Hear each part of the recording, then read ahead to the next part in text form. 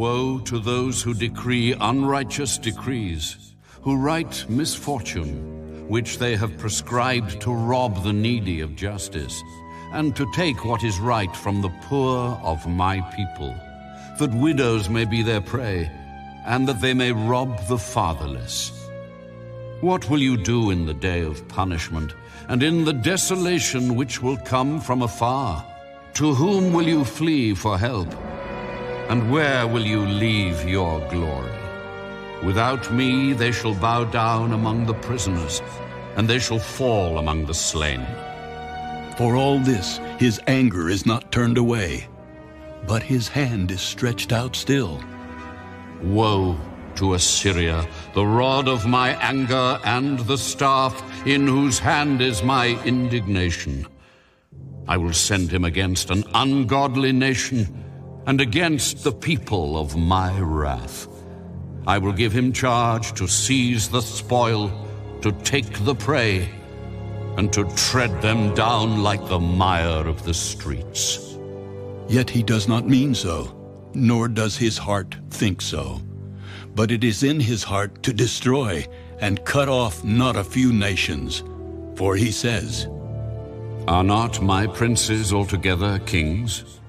Is not Calno like Carchemish? Is not Hamath like Arpad? Is not Samaria like Damascus?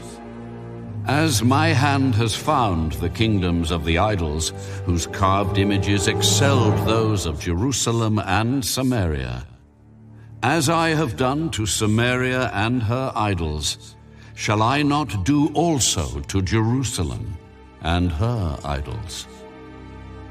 Therefore it shall come to pass, when the Lord has performed all his work on Mount Zion and on Jerusalem, that he will say, I will punish the fruit of the arrogant heart of the king of Assyria, and the glory of his haughty looks.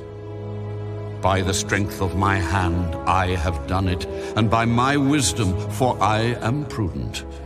Also I have removed the boundaries of the people, and have robbed their treasuries.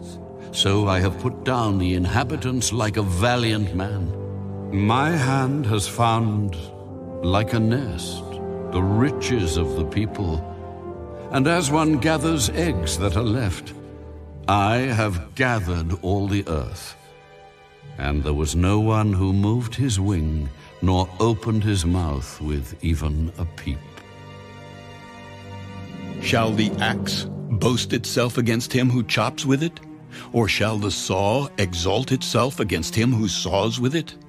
As if a rod could wield itself against those who lift it up, or as if a staff could lift up as if it were not wood. Therefore the Lord, the Lord of hosts, will send leanness among his fat ones. And under his glory he will kindle a burning like the burning of a fire. So the light of Israel will be for a fire, and his Holy One for a flame. It will burn and devour his thorns and his briers in one day. And it will consume the glory of his forest and of his fruitful field, both soul and body.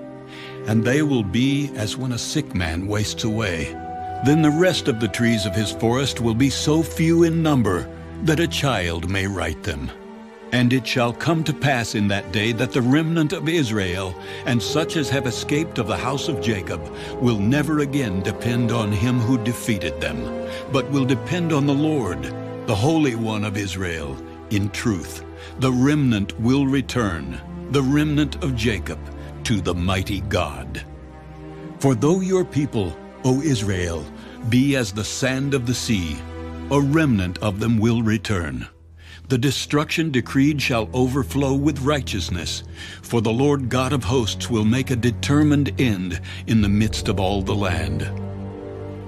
Therefore thus says the Lord God of hosts, O my people who dwell in Zion, do not be afraid of the Assyrian.